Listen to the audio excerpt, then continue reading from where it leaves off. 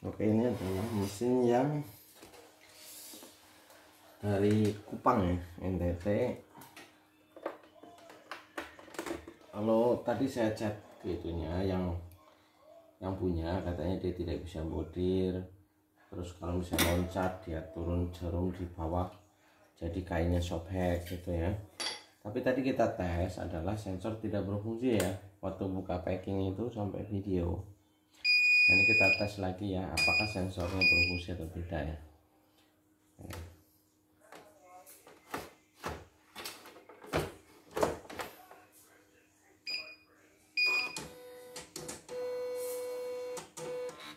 Ya.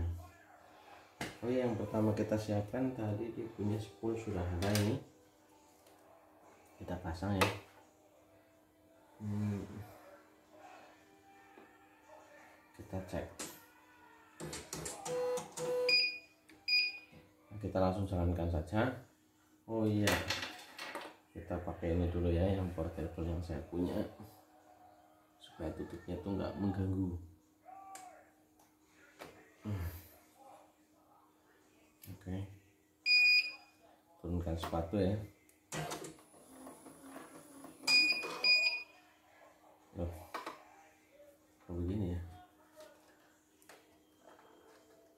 nah kalau kejadian seperti ini adakah kabel di sini ada yang putus atau? Hmm, sambungan ininya tidak normal ya.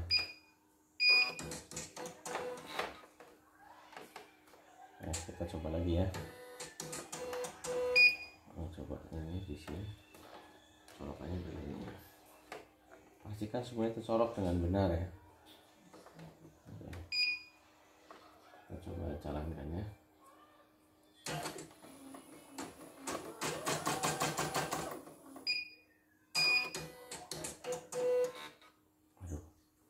ini masih mengkalibrasi ya. Oke kita matikan saja dulu. Nah baru dinyalakan.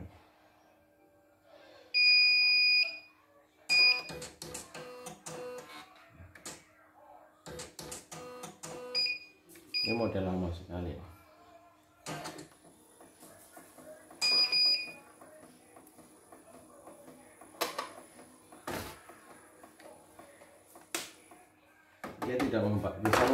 bagian ini.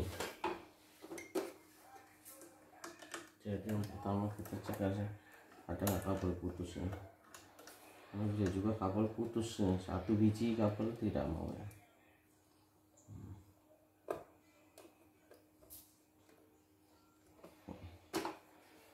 Terus cek sini dulu guys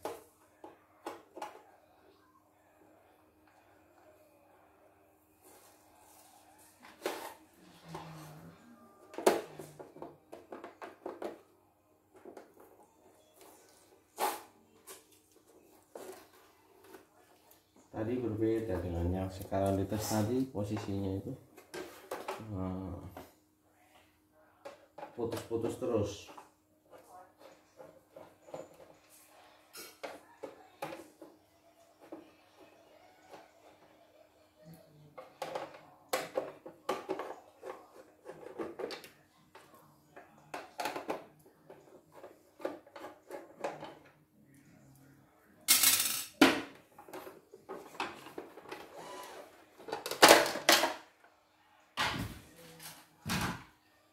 kotor sekali ya.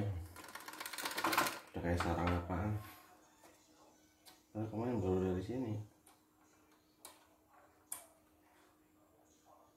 Loh kalau aku curiga adalah sensornya malah remuk ini. Sensornya remuk kita cari dulu jalurnya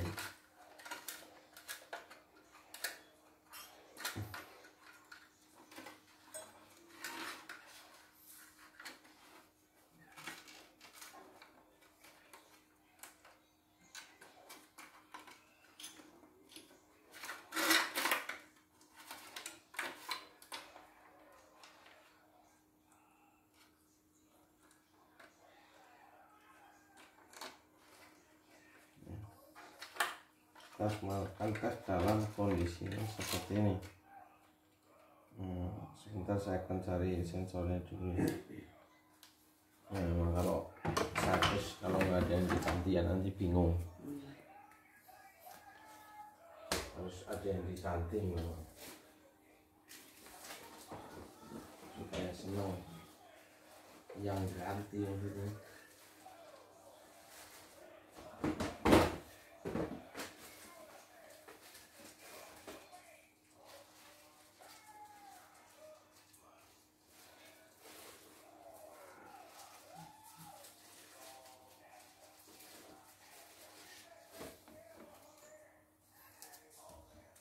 kalau dilihat dari bentuknya ini sudah aus ya ketabrak plat plat sepertinya oke. Kita coba lagi ya. Begitu lagi enggak.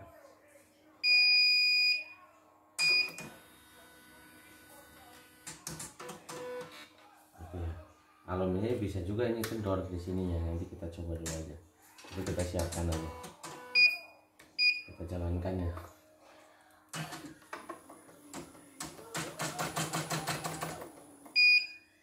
seperti ini. Nah kita angkat uh, apa namanya? Uh, ini kawatnya kita angkat tinggi-tinggi ya. Kita angkat tinggi-tinggi ditahan seperti ini ini kawatnya supaya nggak nyengsor nah kita coba jalankan kembali. Tetap berarti sensor ini yang mati. Nah kita cabut sensor ini. Nah kita ganti dengan ini. Nah seperti ini ya. Dia kan nyala tidak akan berhenti walaupun putus. Nah ini baru. Jadi sensornya mati. Gitu. nah, nah kalau kita halangin seperti ini nah, baru dia akan putus. Nah, jadi fix ini sensornya tidak bisa. Nah, kalau ini kayak hanya sekedar kendor saja itu masih bisa. Ini dibersihkan dulu. Tapi kita tanya dulu orangnya karena sudah sedikit aus ya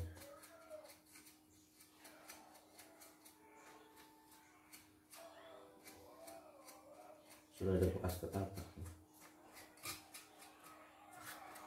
kok kotor sekali perasaan kemarin. Nggak sekotor ini dah. Katanya nggak dipakai. Sejak di servis kemarin. Tapi entah ya gitu. nah itu saja nah ini tadi sensor bawahnya harusnya nyensor duluan ini. Nah, tapi kenapa tidak ya? Berarti kemungkinan adalah uh, tersumbat kotoran kita coba bersihkan dengan menggunakan ya, karena sudah sore ini saya nggak mungkin nyalain kompresor. Nah, kita short balik ini. Oke ya. Kita coba jalankan kembali. Nah ini sepulnya. Jadi sepulnya kotor. Jadi tahu ya kalau misalnya ya, ini kotor dia tidak bisa membaca nah jadi sensor sensor ininya ini nggak perlu diganti cuma dibersihkan saja. Ini sudah sensor bisa kita pasang begini atau kita uh, pasang dari kita gini masuk ini ya. Nah begini. Maka dianggap ada sepulnya gitu. Nah itu sepul habis. Jadi paham ya ini mudah sekali. Kalau mau diperbaiki sendiri di sana oke. Tinggal ganti ini. Oh dia bilang berhenti di bawah ya pas berhenti dia nancep gitu. Ini sudah saya kencang-kencangin semua jadi tidak gitu. Ya berhenti dia di atas naik gitu. Ya karena mungkin kerjanya lumayan juga di sana ya dia bilang juga buru-buru. Tapi sensor ini nanti kayak seperti ini nanti saya ganti. Nih hmm. karena posisinya itu kadang connect kadang tidak tadi seperti yang tadi itu. Nggak apa-apa cuma ganti dua sensor doang. Sensor ini dan sensor itu nanti partensinya saya perhatikan kalau misalnya cowoknya sudah terlalu dalam saya ganti sekalian kan lumayan untuk nambah-nambah penghasilan saya ya. Jadi sudah tahu ya bagaimana itu sensor yang putus-putus uh, fake seperti itu cara kerjanya. Silahkan kalau mau perbaiki sendiri dibongkar sendiri berantakin sendiri ya. Kalau tidak jadi uh, semoga tidak jadi dan kirim ke saya juga. Jadi saya juga dapat juga ya bukan doain. Tapi kadang-kadang orang kalau sudah ini bingung duluan. Kadang sih tapi saya udah kasih penjelasan itu. Ini kalau misalnya kalian penasaran mungkin saya ngefake ya atau bohong kita bisa pakai yang ini. Saya copotnya saya copot ini. Jadi sama-sama tidak tertekan ya sama-sama tidak tertekan. Nah gini. Lo jatuh tuh kosong ya sama-sama tidak ter tertekan. Hmm. oke bautnya jadi dalamnya nanti. Nah, bisa ngambilnya oh bisa nih. Ya mungkin kalian disangka saya itu bohong ini bisa kalau kita copot duluan supaya sama-sama tidak ada dusta di antara kita. Asli kita copot maka ah ini akan tetap seperti itu. Nah gini ya. Akan kita jalankan.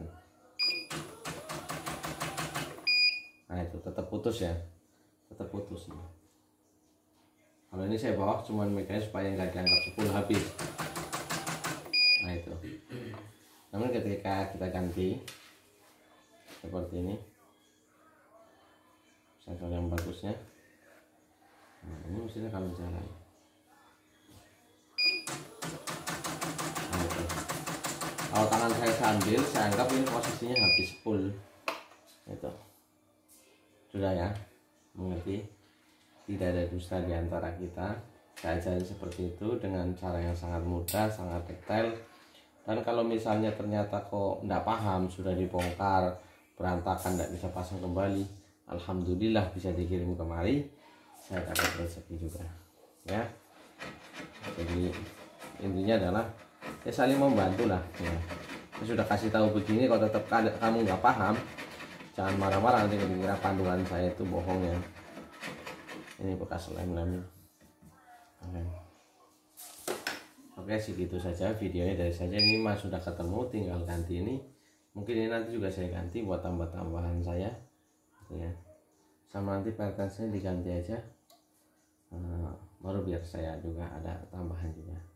Kalau untuk dinamo itu masih bagus tidak usah diganti karena terlalu mahal juga. Ya. Tapi cukup segitu aja video dari saya yaitu cara membenahi uh, tidak putus tapi dianggap putus gitu ya. Nah, seperti itu. Jadi sensor yang bermasalah gitu. Nah, sampai jumpa di video berikutnya. Salam sukses selalu semoga kesehatan dan kebaikan selalu menyertai kita semua. Amin